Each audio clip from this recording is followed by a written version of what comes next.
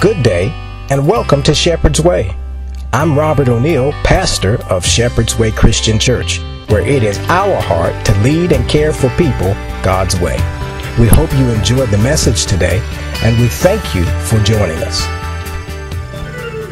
We've been in a series, started last Sunday, talking about being hungry for God's will. Hungry for God's will. I got my clicker, hungry for God's will. We are hungry for God's will. Matthew chapter 5, verse 6 says, Blessed are those who hunger and thirst for righteousness, for they shall be filled. He's telling us there's a promise to those who are hungry for God and His righteousness, hungry for doing God's will. And this is our thematic thrust that we'll be dealing with hungry for God's will. That is our uh, sermon series we're dealing with being hungry for God's will. And last week we talked about uh, we talked about the will of God satisfies. Amen. That doing the will of God satisfies. God brings life's satisfaction. That there is life satisfaction for doing God's will. Doing God's will keeps us living a happy, fulfilled, and successful life. Doing the will of God. Doing the will of God does not mean we will, will not suffer, does not mean we will not have hard times or low times, but it does mean at the end of the day, he has promised to fulfill us by doing his will. So he says, blessed, happy are those who are hungry for doing hungry and thirsty for doing the will of God, the right his righteousness, for they shall be filled. And today I want to look in the same passage we've been in in John chapter 4. And we're going to begin reading John chapter 4, and begin verse 31. John chapter 4, verse 31 says this Meanwhile, the disciples were urging him, saying, Rabbi, talking about Jesus, but he said to them, I have food to eat that you do not know about. Amen. So the disciples said to one another, Has anyone brought him something to eat? The next verse says, Jesus said to them, My food is to do the will of him who sent me and to accomplish his work. Do you not say, There are four months, then comes the harvest? Look, I tell you, lift up your eyes and see that the fields are white for harvest. Amen. Amen. This morning I want to talk to us from this subject, following the will, following, go back, following God's will in this season. I want to talk about following God's will in this season. Following God's will in this season. What we will discover is that what we already know is that Earth has how many seasons? Four seasons. Earth has four seasons. It has uh, winter, summer, uh, winter, spring, summer, and autumn. It has four seasons. And in these four seasons, uh, you and I live in these four seasons. And in the springtime, when it comes, we know springtime brings about life. It brings about new birth. It brings uh, things begin to start over again. In the summertime, it brings uh, growth. We enjoy positive transitions and even relaxation during the summertime. In the autumn time, uh, we can recall in our autumn times that we begin to reap some of the benefits of hard work. Farmers begin to reap what they have sown. It's a time of reaping and bringing together, bringing in a harvest. Matter of fact, I just had a fight with a pile of ants that, that got inside my house because they were reaping uh, the harvest. They were getting after every, every crumb that was left around. They were reaping the harvest because they were getting ready for the winter. They were going to sit back and relax. And then there is the winter season where things die. Things are exposed and things are lost. That is in uh, the winter season. And even though that is the seasons of the world, of our earth, that is the same kind of thing that as human beings we go through in life. We have spring seasons where things grow.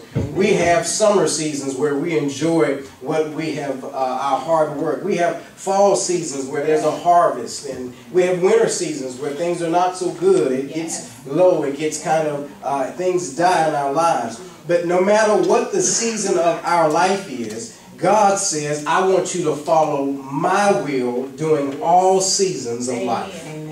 God says, I want us to follow my will. I want you to follow my will no matter what season you are in in life. And here is the number one primary will of God for all believers. Here is the number one primary will of God for all believers, and here's this season that God has, uh, that He wants us to focus in, is that there is a season of harvest. We, that's not the first point. Where is the season that God is in? It is the season called harvest. Even though we may be in a wintry season in life, we may be in a fall season of life, we may be in a summer or spring season of life, God is in the season of harvest. Yes. So no matter what season of life you are in, here is the will of God for every believer in this season. In this season, whatever season you are in, it is the season, God's season called harvest. God wants to remind us that this is his harvesting season, that he is calling people into a fellowship with him, relationship with him, and it is called the harvest. I'm not talking about the rapture, that's going to come. There is a harvest of souls that God wants to bring into his kingdom. So when he comes, everyone that has been captured into the harvest can go on the first trip. Are you with me this morning? The harvest is the number one priority of the church. It's the number one mission that the church should have, and that is to bring lost souls not just into a denomination or into a fellowship, but to bring lost souls into relationship with God Amen. Almighty. Amen. That is the number one mission of God, and this is his season, no matter what season you and I are in. Amen. This helps us so that whenever we are in those wintry seasons, we still don't forget our mission. Yes. This helps us when we're enjoying the fruits of our labor that we don't forget that we're still in God's will. God's will is I need souls. God's will is I want you to bring people yes. into the kingdom of God. Amen. And that's what I want us to see. The obedience to God's will in His season will produce a harvest. And God will give a harvest to the person who will follow His will. Yes. I said to us last week that we must follow God's will. It is an immature Christian who does not seek God for His will. I don't care what season of life you is in, you're in. It is a, it is important to say, God, show me what your will is. Yes. He may it may be the, the dark season, a hard season, but still God has a will in every season, and it is our job to seek God in that season. Can you say amen? Amen. So I want to answer the question today: How do we follow God's will in this season? How do you follow God's will in the season that you are in? Summer season, spring season, fall season, the winter season. How do you stay focused and follow God's will in this season? Here's the first movement I want you to consider with me. And number one, in order for us to follow God's will in this season, is number one, that we must wake up to the times we're living in.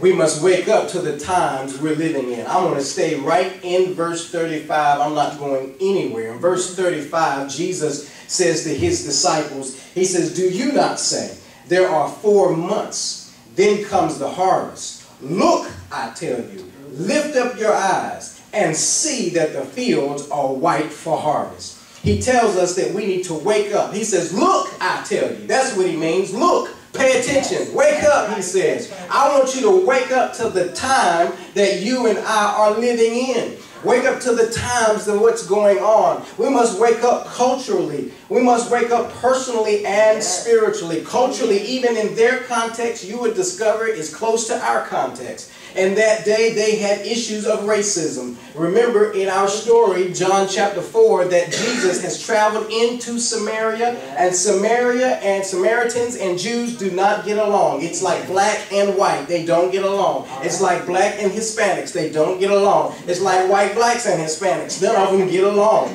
He wants you to know there's racism in those days, and I want you to know there's racism in our days. They had they had issues culturally. Their rulers, they had some crazy rulers. They had Caesar who ruled over Jerusalem for Rome. They had Pontius Pilate who was ruling over Judea. And they had this weird dude named Herod Antipas who was ruling right there in Jerusalem. And Herod was a murderer and he was a pedophile. Yeah, let me tell you, he was a pedophile because the Bible says when John the Baptist was captured that the Bible says that Herod was having a birthday party and when his niece whom he took from his uh, brother's wife. His niece came in and gave him a lap dance. He said to her, Girl, I give you half of my kingdom. Ask me whatever you want. And she, the and the uh, historians say she was between 12 and 14 years old. So rulers in this day weren't no good, just like today. they got problems still. Ain't nothing new under the sun. Religion in that day was a fool was a problem because the priests were full of greed and full of pride. They weren't leading people to a fullness of salvation. They were leading people into bondage. They were telling people to keep rules that they themselves were not keeping. The religion in that day was a hot mess. Culturally, that's what's going on. He tells us we ought to wake up culturally. We ought got to wake up even personally. Because in that day, just like today, some of us today, there was a tired season. Folk were tired of the things that were going on. There was a troublesome season. There was issues and trouble and rumors of wars. There was, there was taxation in crazy places. There was trying seasons. Your faith was tried. Is God going to come through or not? Is, is he still the one who's sitting high and looking low or not? Did he forget about us? At these trying seasons they're going on. There were even treasuring seasons where, where things were plentiful and, and, and all of that. Everybody is going through different issues, trying to trust God personally while you're walking in this life of faith. He tells us we've got to wake up to the time that we're living in. Spiritually, it was a dry season. Not much of a word from God. The preacher not hitting on too much of anything. Uh, they're dissatisfied, they're disgusted, they're even disturbed. That's the culture in which they lived in. And I got good news and bad news. The bad news is it's the culture we live in today. It's the same kind of culture, but the good news is, is that Jesus is standing in the middle of that culture, making a promise to us that God, the kingdom of God is here. That's what he's saying. The kingdom of God is here. And he's saying, I have a harvest that needs to be brought in. And the same thing that he said then applies to us today. He says, I've got a harvest that must be brought in, but you got to wait. We have to wake up to the times we're living in. We have to wake up to the times we're living in. Sometimes we think that the culture, uh, uh people say it just like this, you know, the world is going to hell in a handbasket. Uh, the people say, uh, you know, uh, uh, the world is coming to an end. They say, oh, oh, you know, it's just going to get worse and worse. And here's what Jesus would tell us if he was standing right in front of us today. He's going to say, exactly. It's going to get worse, but that is why I left my church right here. I left my church right here. Watch this. Not devoid of power, not without a mission, not without a purpose. Even in your struggling in your life, he said, I left you here for this purpose. I put my spirit in you for this purpose. My spirit is dwelling within you so that you may let the light of Christ Jesus shine out of you. Because the season that Christ Jesus is in now is the season of harvest. Amen. So no matter what season you're in, winter, summer, spring, or fall, God's season is still harvest. He's not going to change that season. You know why? Because after the season of harvest, he's coming back. I said after the season of harvest, the old folks used to say he's going to crack the sky. After the season of harvest, you and I will hear the trump of God, which is going to sound, and those who remain shall be caught up in a moment, in a twinkling of an eye. We'll be changed. We will go up to be with God and dwell with him forever and forever and forever and forever and forever. And because of that promise that's about to happen, that's going to take place, Jesus wants to remind his own disciples, listen, I want you to wake up to what's going on around you because this is the season of my harvest. Things are trying to get us off course and they're distracting us. but he wants us to wake up to see the times that are going on. Sometimes we're asleep Sometimes we sleep because, you know, we're just not paying attention. We know it's bad, but we're just not paying attention. God says, I want you to wake up and see what, what time you're living in. If homosexuals on the rise, you got to know Jesus is coming soon. If, if all this trouble is on the rise, that means the church doesn't slow down. That means the church speeds up. That doesn't mean we just we just say, well, it's just going to be what it's going to be. No, it's we. That's where we say, God, this is a season of harvest place me where you want Come on now. That, that, that's what we say, that's God, right. place me where we want me. Okay, that's number one. He tells us we've got to wake up to the times that we're living in. Look, I tell you. That's what Jesus says. Same verse, verse 35. Here's the second thing I want you to see. Not only does he say, wake up to the times that we're living in, number two, he says, watch this, that you and I should look up from the trance we're lost in. Yeah, look up from the trance that we're lost in. That's what the text tells us. He says in verse 35, he says, look up, I'm telling you. Look, he says, look up for us to wake up. He says, so lift your eyes up and see the fields.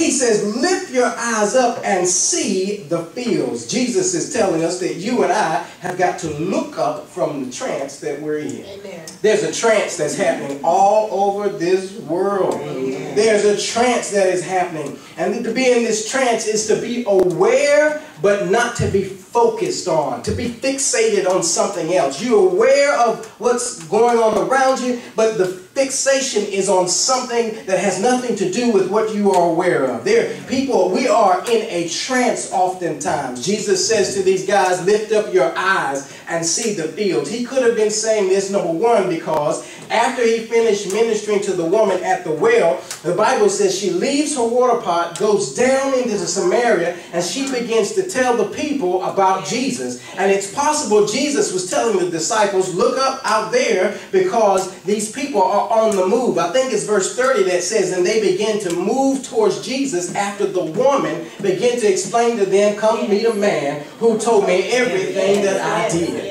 He could have been saying that. Number two, he could have been saying, he could have been looking over the cliff and seeing the fields that they were white and ready to be harvested. And so he's telling them, I know you, they just came back with their cheeseburgers and Big Macs and saying, uh-huh. Jesus, don't you want to eat? And Jesus is saying, would you quit looking at the food and look at the uh-huh. field? Would you stop paying attention? They're in a food trance and God is, and the Lord is saying, I want you to be on this ministry trance. Look up from what you got going on and see that it's the right time time. The, the fields are ready. He tells them, look up. That's what I want you to do. The disciples were focused on getting their belly fed. And Jesus has been working trying to get his soul fed by doing the will of the Lord. And so often, not only were the disciples in a food trance, sometimes we are in a trance. Our loved ones are in a trance. The world is in a trance. Uh, so much so that sometimes we get in a political trance. Can you say amen? Yeah, we will not participate in government or we believe that government can solve all of our problems. That is a political trance. Here's the real issue that Christ is the only one that can help us in all that we are going through. Governments are only going to do what they can do to live. If they ain't greedy, if they ain't crooked, they're going to do what they do. But only the Lord can use us to do the right thing, to wave the, right, the banner of righteousness. It's a political trance going on today. Even some preachers are caught up in it and pushing one agenda over the other. Not a biblical agenda, but a political agenda. Amen. It's a political trance. Not only the political trance we see in our world today, there's a drug trance. Have you ever seen so many people strung out on substances? Whether it's pills or marijuana, or they're putting it in their arm, or whether they're taking it, you know, by, by, by, by, by pills, they are, we are caught up in a drug trance. We are not focused on what's going on around us. We're caught up in what uh, is in our hands. We're in a racial trance today. Can you say amen? Amen. Yeah, all of the race issues that are happening, some are biting real hard on the race issue and they're making it more than it should be and some are trying to downplay it as though it is nothing.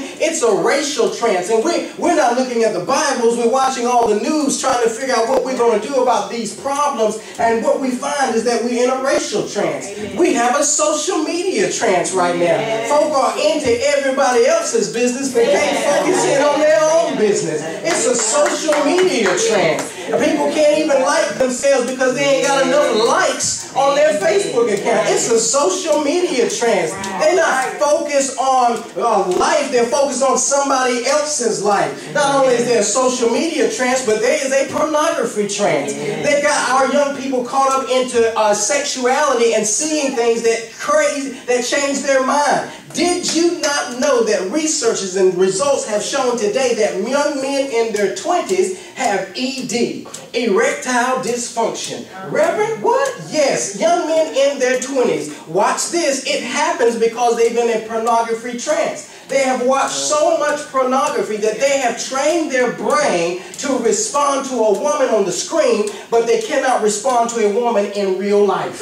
Come back here, listen to me. They've trained their brain from pornography that they cannot even handle. I've got proof to show you. They cannot handle a real person, a real woman in front of them because they have uh, they've been in this trance. They would rather spend time on the computer screen than an actual person. They have they just said to themselves that the woman on the screen is easier to get along with than the woman in real life. So I, it, so I can get my pleasure without having all those extra issues. It's a pornography trance. The trance is so strong that if you did research, you would discover that even the sex trade industry is fueled by the pornography industry. It is a trance that is over our minds. And Christ is saying, I want you to look up from the trance that the world lost in. I'm not finished. It's a romantic trance. Folk are looking at uh, television shows and believing the hype they see that if they feel love, then that means that they're really in love and that it's going to work. But when they fall out of love, that means the marriage is over. It's foolishness. Because anybody who's really married understands that there are days I'm not even going to, uh, are there days that we're not going to get along. But we know one good thing, that we got commitment. Can you say amen? Everybody say amen. Say amen. Amen again. He says that we got to look up from the trance that we are lost in. And these things that we are seeing, they're just trying to, they, they we know what's going, we know something going on. Oh, we know something's going on, but because we're fixated in the things that are right in front of us, yes. uh, it's a trance. And Jesus says, listen, no matter what season you are in, I want you to keep the will of God first. And God's will, God's season is the what season? A harvest season. God's season is the harvest season. No matter what season you're in, summer, winter, spring, or fall, God's season is the harvest season. Are you tracking with me this morning? All right, here's my third final movement in this text. Not only do we see, we see that he tells them, I want you to, I want you to wake up uh, uh, to, to the times that we're living in, right? He says, I want you to look up from the trance that we're lost in. That's what he tells us. Yeah. Still in verse 35, here's the third movement. He tells us then, I want you to get up and trust the Lord in the season you're living in. I want you to get up and I want you to trust the Lord in the season that you are living in. Say it again. I want you to get up. I'm glad you woke up. I'm glad you're looking up. But now he says, I want you to get up from in the, uh, uh, and, and trust the Lord in the season we're living in. That's what Jesus says in verse 35. Notice again, he says to them, he says, I want you to, he says, look up and see the fields are white and ready for harvest, he says. He says they're ready. He says they're ready for you to do something about it. Yeah. Again, he could have been talking about the, the, the Samaritans that were on their way to him because they're going to have a high time when they get to Jesus. He could be talking just about the fields, using it as a metaphor. Look at it, it's ready. All the Lord tells us today is that his flock the harvest that he wants to send into the church, he says they are ready. Amen. Yeah, it's ready. God is saying it's ready. The people are ready. But watch this. We have to get up. We have to get up. Is what he tells us that we he he's not just sending them to them. Jesus had to go, it said it would need be that Jesus go through Samaria. Samaria, Samaria would not come to Jesus. Right. Samaria would not come out of Samaria. Right. The Samaritans would not go down to Jerusalem. The Samaritans would never go to Jesus. But Jesus need be go through Samaria. Yeah. Most times the Jews went around Samaria. They avoided Samaria. But the Bible says in John chapter 4 that Jesus had to go through Samaria because he had to see about this woman. This woman would then bring the people, give a testimony, and the people would then come to Jesus. Amen. And you see, church, what he's trying to tell us is that everybody ain't going to come to our church. Amen. Amen. They're not just going to come to the door and going to come in. Here's what he tells us that we have to do. We have to get up. We have to get up and we'll have to go. And then he says, listen, and then trust the Lord. What he is saying to us is this, his harvest is ready. Yes. That's what he's saying. Number two, his harvest is ready. But here's number two, that God is ready for his harvest. Mm-hmm. Oh, come back here. You don't believe God's ready for his harvest? God's ready for his harvest because look how many people. Do you think God smiles when someone dies without Jesus, without repenting of their sins? Do you think God says, oh, well, another one's lost. I got a billion just like him? No. He said, it's not my will that any should perish. That any should perish. Any should be lost. That's what his will is. He says, but that all of us would come to the saving faith of Jesus Christ. It's not God's pleasure, not his will, not his desire, not his plan that people would be lost, that people would die and spend an eternity away from God Almighty. It is his will that we would people would find Christ Jesus and that right early. I'm trying to tell you something. God is not on delay about his harvest. He is saying right now, my harvest is ready. That's what the text says. 2,000 years ago, he says the harvest is ready. And I got good news for us now. The harvest is still ready. Yeah, the harvest is still ready. Yeah, the trouble is the sign that the harvest is still ready. The people deep in sin is the sign that the harvest is ready. He said the fields are white, which simply means it's ready to eat, it's ready to be gathered. And all of the darkness we see today, it is the sign that the Lord is saying the fields are ready. And if we will get up, he says what's going to happen is, trust me, the harvest is going to come in. So watch this. He says, my harvest is ready. Number two, God is ready for his harvest. And here's the point I like, and I want to share with you, and I'm going to head to my seat, is that you are ready for the harvest. Uh, no, no, y'all looking at me funny. Let me say it one more time and, and boost you up and help you stand up and be strong and understand this. That means there's an anointing on us for to go and get the harvest of Jesus Christ. Because the harvest is ready. God is ready for his harvest. You need to know and have assured that you and I, listen, are ready to go get the harvest. Yeah, yeah, we're ready to go get the harvest. You said, Reverend, my life is a mess. He knows he's still ready for you and I to go get the harvest. You said, Reverend, I don't have enough money. He knows. And he says, I'm still ready for you, you to go help me get this harvest. You said, Reverend, I'm working on my business plan. He says, I know, but in between you and your business, I want you to be about my business. This is the season for my harvest. You are ready for the harvest. You are ready for the harvest. God didn't put us in this hole in the wall He because we are. God said we are. We are.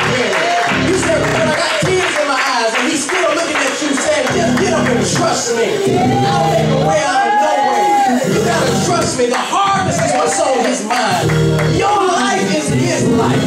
And I want to tell you something else. There's a blessing when you go after his harvest. I want to tell you that no man has ever given up houses or lands or cars family for his sake that he did not reward 100 fold in this life. God is saying, if you trust me this morning, trust my, trust me in your pain, trust me in your setback, trust me as you're living this life, that I will bless you go after my harvest.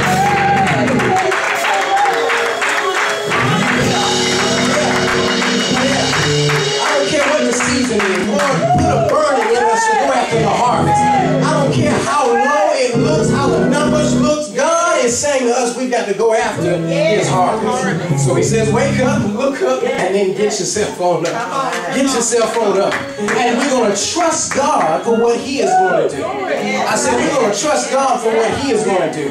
So that means when you open your mouth to share Jesus, trust God that he is ready to save somebody's soul. Oh, and I want to tell you something else. That as we go forward and as we're praying and seeking God, I want you to pray. I want you to pray not just that God would save souls. That's that's not what the problem is. He want to save. I told you it's not that any should lost to be perished.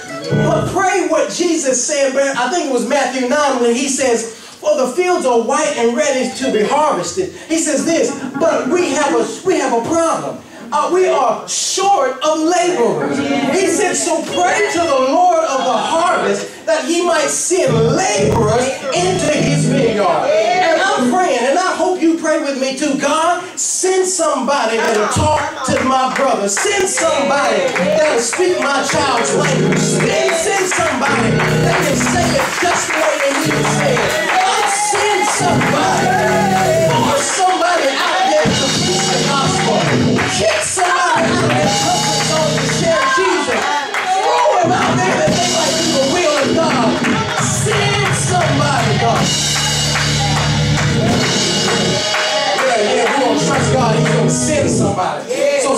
Stop praying at all. I know it looks bad. I know they look like they're headed in all the wrong directions. But in the name of Jesus, I said, in the name of Jesus, we got a promise from the book that if we will go, He will do something. To send somebody, He will send somebody. My granddaddy used to tell the young people when he was in the prison ministry, he used to say, son, if you don't listen to me right here while you're free, one day you'll be bound up and you'll have to listen to somebody. But I got great news that even if we get bound up, even if your son gets bound up, even if your daughter gets bound up in something, if we will pray, God send somebody to me.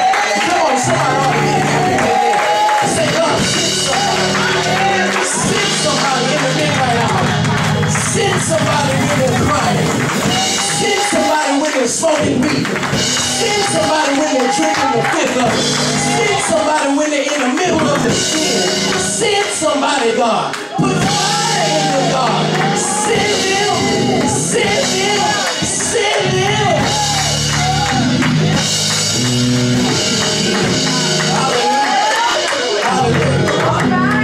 Going to trust God for what He's going to do. I said we're going to trust God for what He's going to do. We ought to begin to look for a harvest. Every time we open our mouths, you ought to look for a harvest. Every prayer you pray, you ought to look for a harvest. And say, God, I'm expecting you to do something because this is your word.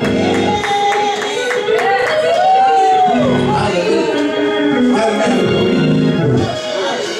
So it doesn't matter what season you are in. Say doesn't matter what season you are in. Spring, summer, winter, or fall. No matter what season you are in, he says, I want you to follow my season. Follow the will of God in this season. And God's season is the harvest. God's season is the harvest. God's season is the harvest. And you and I have, we must just trust the Lord. There was a man who had a business that he was wrestling with for almost two decades. He was wrestling with this business whether or not he should keep it or whether or not he should let it go. And finally, one, sun, sun, one Sunday morning, he heard his preachers talk about the business of giving it over to the Lord. Uh-huh. Lord have mercy. I feel that he talked about to the young man giving that business, giving whatever you have, giving the pain, the joy, the giving it all your child, giving it all over and putting it in the Lord's hands. So finally the man heard the sermon and he walked out and as he's driving home, he made up in his mind, I've been wrestling with this thing for too long and I'm going to give it over to the Lord. He said, I'm going to trust you, Lord, and put it in your hands. Well, unfortunately, that very night, the uh, this story goes that this man's building, his business, caught on fire. It began to burn to the ground. And a friend called the man and said, Man, your building, your, your job, your business is on fire. The young man got up and he made his way down to where the business was and he slowly went there. And by the time he got there, all he could do was stand there and he had somewhat of a smirk on his face, a small smile on his face. And his friend says, Man, don't you see your building is burning? He said, Yeah, I see it's burning. He says, Man, man, man, how do you feel? He says, Well, I tell you the truth, uh, I gave this thing over to God this morning. And if he want to burn the business down, that's his business. You hear what I said? If he want to burn it down, it's his business. If he want to change something, it's his business. If you and I will give over our children, our loved ones, our spouses, our lives, in whatever season you in, put it in his hands, trust him, that is his business. And I want you to look up and go after the harvest. I want you to look up and go after what God tells us to go after. For he will reward those who are after his seed. Thank you for joining us. If you've enjoyed this message, subscribe to our YouTube channel, Shepherd's Way Christian Church, or visit us on our website, www.swaycc.org. That's www.swaycc.org to hear more. To connect with us, follow us on Facebook. You can join us every Sunday morning at 9 a.m. We're located at 140 East Vance Street, Zebulon, North Carolina. Again, thank you for listening.